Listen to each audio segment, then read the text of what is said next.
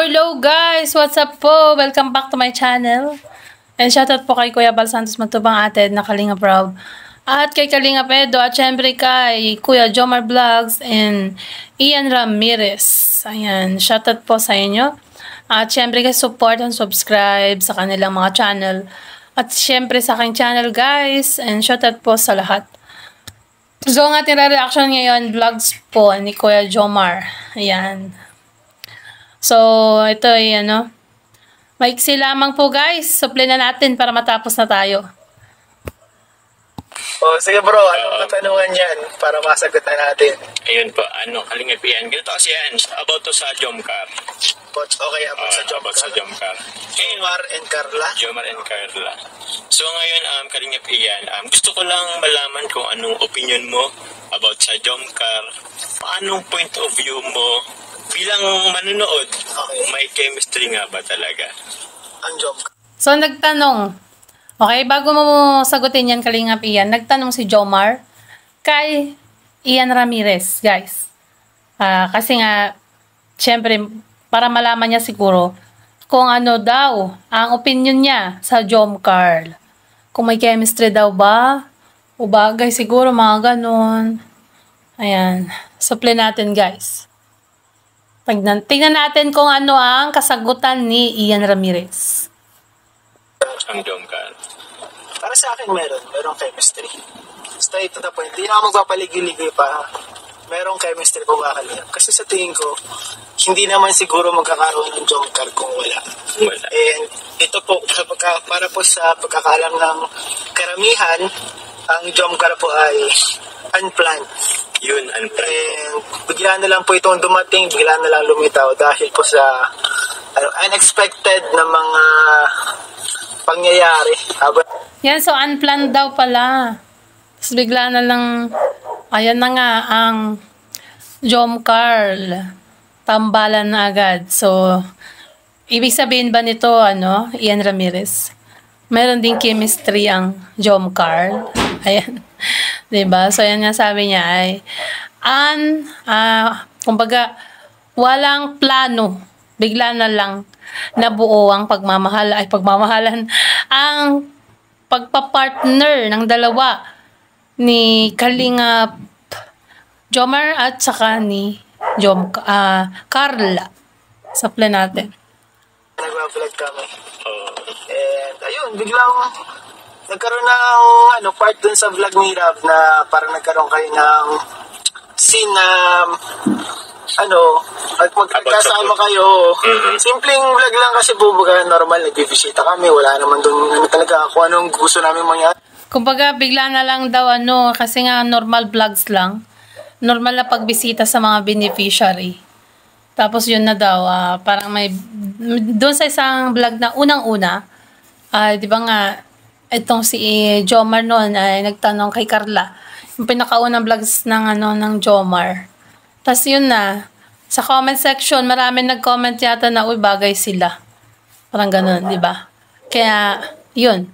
Siyempre si Kalinga Prab, lahat naman ng kahilingan ng viewers actually, binibigay niya.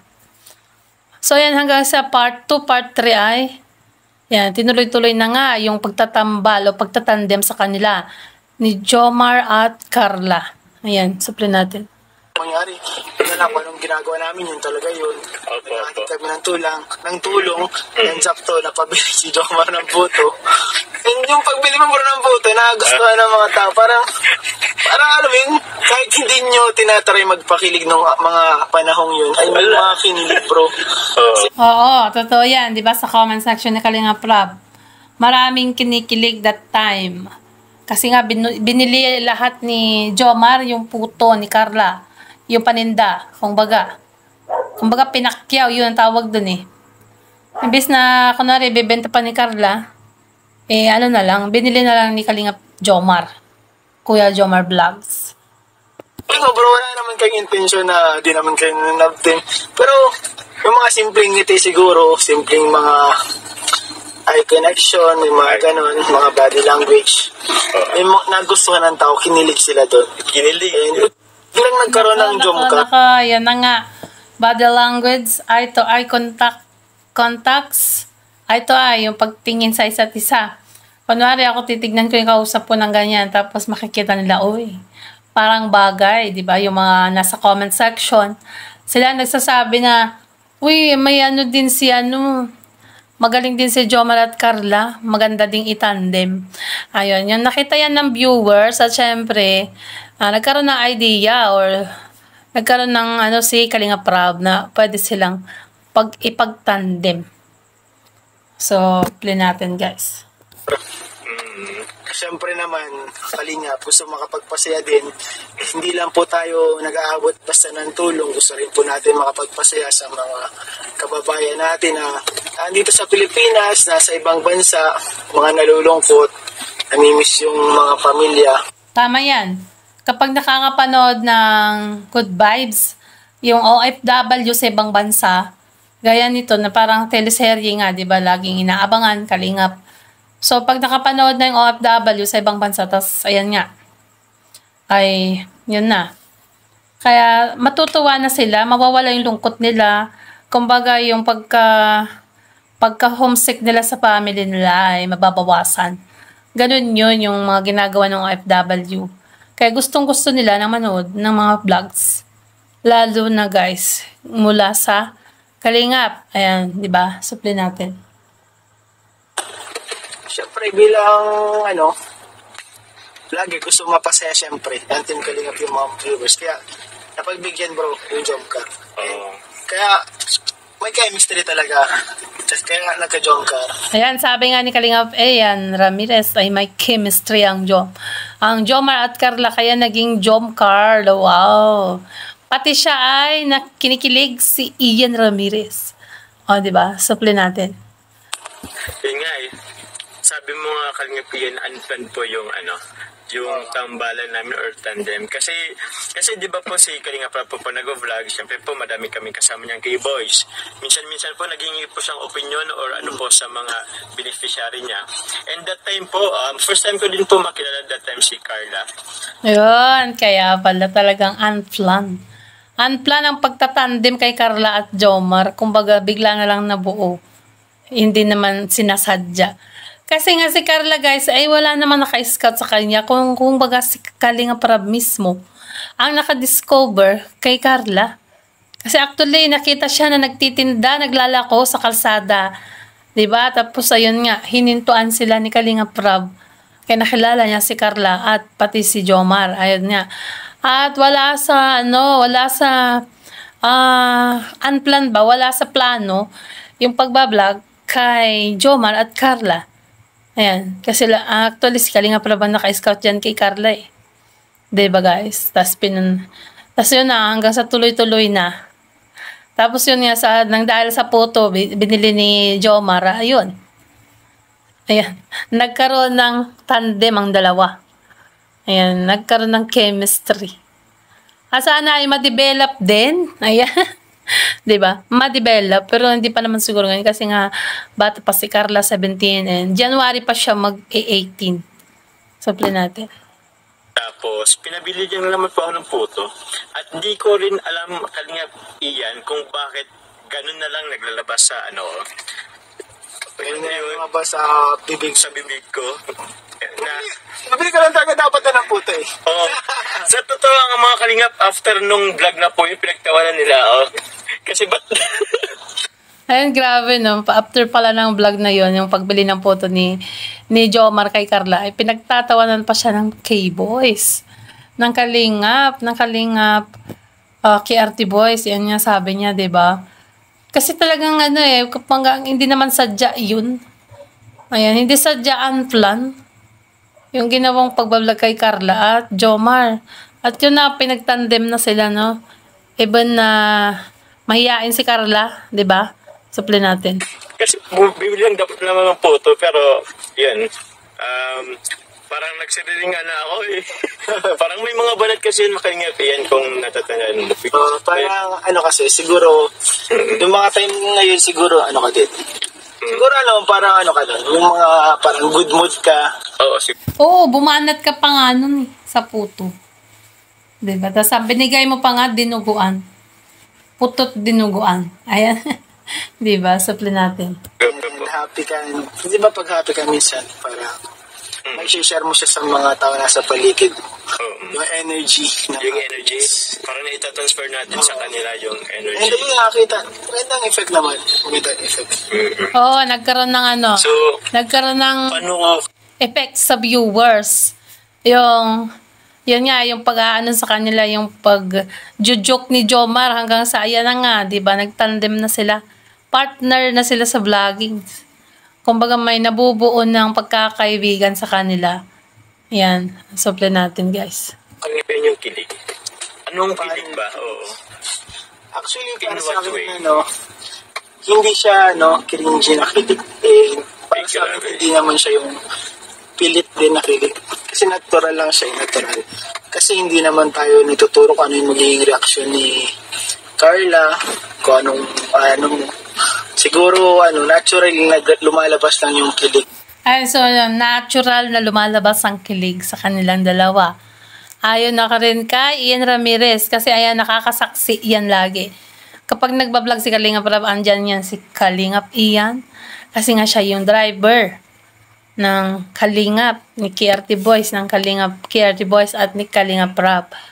Yan. Suple natin. Mm-mm. Dahil nga sa chemistry yung dalawa. And, tawag doon? Ako dahil dito sa traffic. Siguro ano din kasi, ewan ko ba, um, siguro may factor din kasi na si Carlos mahiyain. Oo, Oh, yun, isa pa yan. Kung siguro si Carla, hindi naman ganun kahiyain.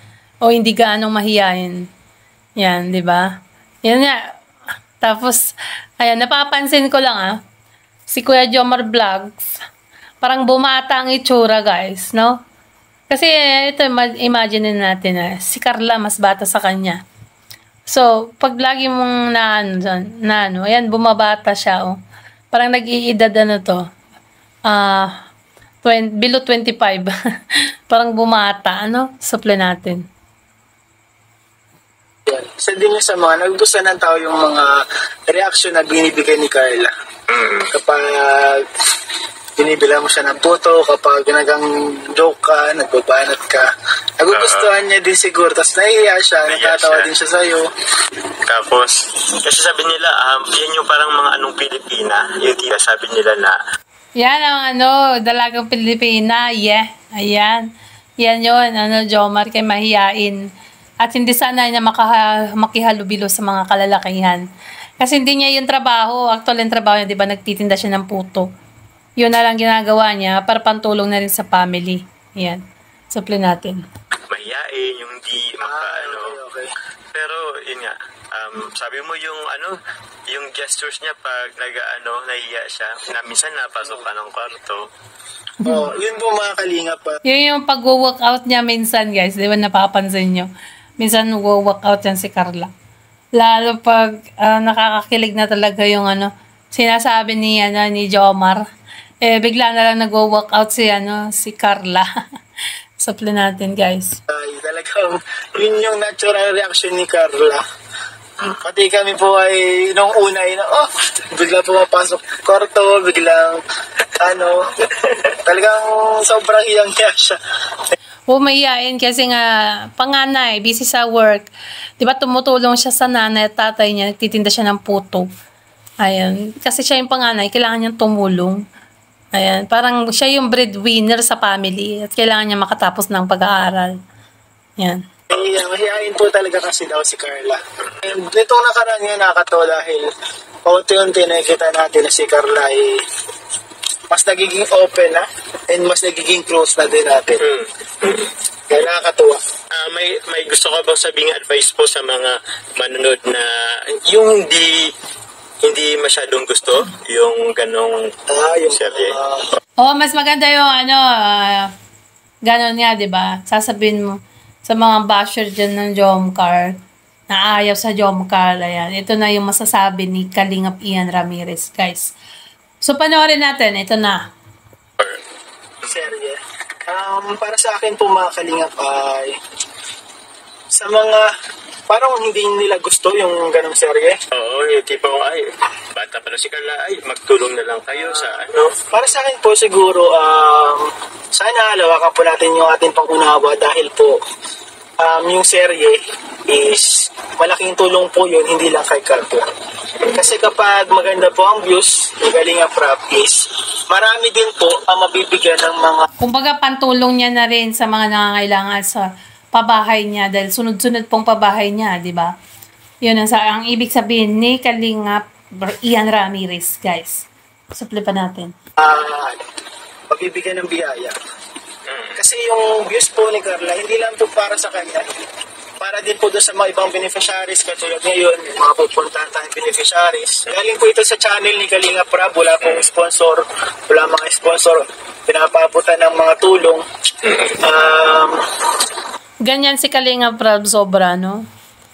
Yan. Kaya itong mga KRT boys, minsan, siya na lang nag-uutos sa kanila puntahan si ganito, ah kumustahin, ayan, ganun, di ba? So, napapanood nyo naman siguro yung mga vlogs nila ni Ian Ramirez, Jomar Vlogs at Kwan. Kalingap Dan. Ayan, supply natin. hindi po yun, ano lang, parang hindi po natin pwede sabihin na love team, love team lang, wala naman na itutulong yan. Kasi sa totoo lang, may natutulong po. At nakikita naman natin, marami din yung natutuwa. Bukod sa nakakatulong na, marami din yung natutuwa. Yan, tama yan. Nakakatulong talaga yung love team. Na kahit andyan lahat halos ng toxic, no? Minsan, pag nagko-comment at hindi nagustuhan yung vlogs ni Kalinga Prab, ay sila pa yung malakas. Kumbaga sila pa yung nagsasabi kung anong gagawin. kung ano yung susunod na kabanata. Ayan. So, pagka kunwari ngayon at may bago na naman tayong love team na susuportan, sana po, sana po ay ano, wag po masyadong panatiko. Dapat po more on sa pagtulong. Pero syempre, support nyo pa rin ang ginagawa nila, Kalinga Proud, ba? Kasi talaga naman kahit na may pampagood vibes vlogs, gaya ng mga love team ay always pa rin na tumutulong sa Kalinga Prop na nagpapagawa ng bahay at walang palya po yun. Every month po yan na meron silang nire-ribbon cutting na pabahay. Ayan, supply natin. Siguro kung hindi po kayo ano, masaya sa pinapanood nyo, may, marami man pong vlog baga si Kalinga Prab na hindi rin love team. Love team. Kumbaga pure sa pag-ano lang din. Ano lang, para mga solo lang, mga family din. Opo. And sana po, supportahan din natin yun kung yun yung talagang gusto natin panoorin. Oo, tama. Support natin lahat ng mga ah, vlogs ni Kalinga Prab. Hindi lang sa mga, ano, tawag dito, mga love team. So, most especially dapat ang charity. Para marami pang matulungan si Kalinga Prab. Uh, supply natin. And yun yung supportahan natin. Siyempre kapag hindi po natin gusto, huwag na po tayo magbitaw ng mga salita na alam natin makakasakit. Kasi siyempre, um, hindi po magandang epekto ng mga masasamang salita and hindi nyo na po yun may babalik kapag nasabi niya na Oo, tama. Hindi na may babalik yung mga, ano, kunwari nakapagbitaw ka na ng salita na hindi maganda sa kapwa mo. Hindi din may babalik kasi na-voice out mo na.